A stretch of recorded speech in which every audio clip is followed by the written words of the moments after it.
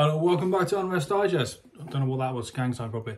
Yeah, I uh, got another little video for you today in a new in a new room, new house. You know it is not moved, but you know things.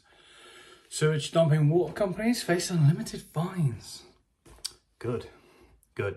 I don't think anyone likes this. This is what I think. Like um, I heard the Tories got in a lot of issues for this.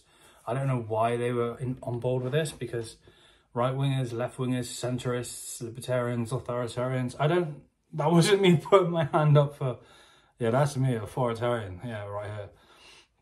Nah, like, uh, I don't think anyone's on board with this, like, honestly.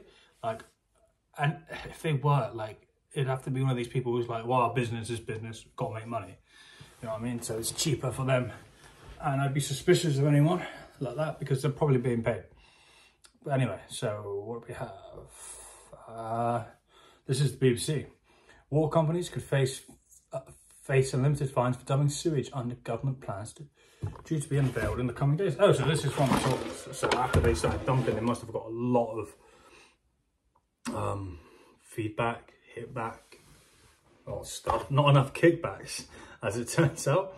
Well, uh, ministers want to lift the cap of £250,000 for penalties for firms that release sewage into rivers and the sea all these caps, they love their caps, don't they? Uh, releases of untreated waste are legal in some, some, yeah, this is the issue. They also pose risks to human health and to ecosystems. Official figures show an average of 825 sewage spills per day into England's waterways in the last year. That's really bad. The latest figures from the Environment Agency, EA, showed a total of 301,081 sewage spills in 2022. This represented a 19% decrease from 2021, but the EA blah blah blah, we want less. In the coming days, ministers are set to announce plans to make polluters pay, addressing all sources of oh sorry, all sources of pollution.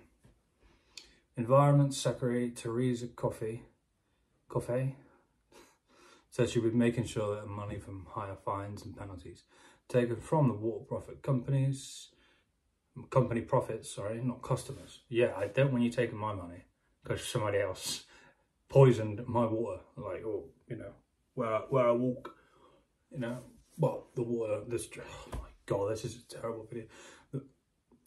you know what I mean. Anyway, currently such money goes to the Treasury, but the plans will see money funneled into the Department for Environment, Food and Rural Affairs. Mean, it sounds good, but it's, they always it doesn't always work out that way. Instead, into a water restoration fund. Oh yeah, yeah, that would be good. Water companies discharge sewage into rivers through nearly 1.8 million hours. It's a weird way of working out. Um, hours of storm overflows in England in 2022. United Utilities, uh, 400,000 Southwest, 290,000. Severn Trent, 240, and it goes down and down. Companies are allowed to discharge untreated sewage into rivers in exceptional circumstances, for example, during heavy rainfall. I'd rather they just dumped it in a big hole somewhere. I mean, I know it doesn't really work out, surely there's somewhere better they could be putting this shit. Water UK, which represents the water industry. Really? so there's a fourth year that spills figures had come, spill figures had come down and that firms will continue to building in the, on this positive news. But the government said the volume of spillages recorded in the latest data were unacceptable. Well, we need to, you know, have cold showers to sort out climate change so we get less rain. And that's probably what they're going to say, isn't it?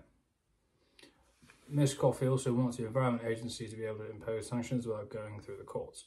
Although it's expected that serious cases will still go through criminal proceedings. Respond to Friday's figures on sewage spills, Labour said the government had allowed waterways to be treated as open sewers. Yeah, I'm not, I think he's right there. Not right a lot, Mr Starmer. The UK needed a strong plan to tackle sewage. Labour leader Keir Starmer. I think he's disgusted with what's been going on. Uh, is it Sir? Is it Sir Keir? Sir?